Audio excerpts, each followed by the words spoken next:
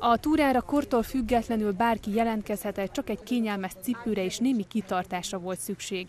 Az összegyűltek a városi strandfürdő elől indultak el és járták végig Hódmezővásárhely összes működő és nem működő ártézik útját, valamint jellegzetes templomait úgy, hogy közben érdekes információkat is megtudhattak az építészeti alkotásokról.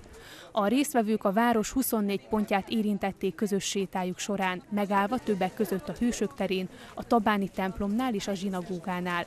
Ezzel a programmal az EVP egészségfejlesztő irodája a szabadidő aktív eltöltését népszerűsítette.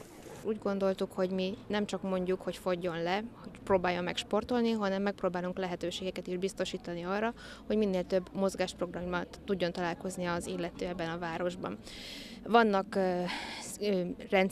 rendszeresebb mozgásprogramjaink, és vannak ilyen kiemelt akcióban lévő mozgásprogramjaink. Ez a mai napi egy ilyen kirándulás a városban, amelynek során a templomokat és a városban lévő kutakat nézhetik meg a érdeklődők, és tarthatnak velünk ezen a körülbelül 12 kilométeres távolságon.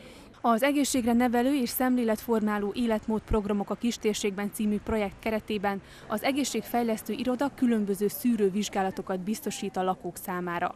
Ha az eredmények azt mutatják, hogy az illető túlsúlyos, akkor a szakemberek a mozgás fontosságára hívják fel a figyelmet. A közös séta mellett lehetőség van futni, úszni, aerobikozni, vagy az önvédelmi sportoknak hódolni. Az iroda célja, hogy a jövőben tovább bővüljön a helyben elérhető mozgásformák palettája.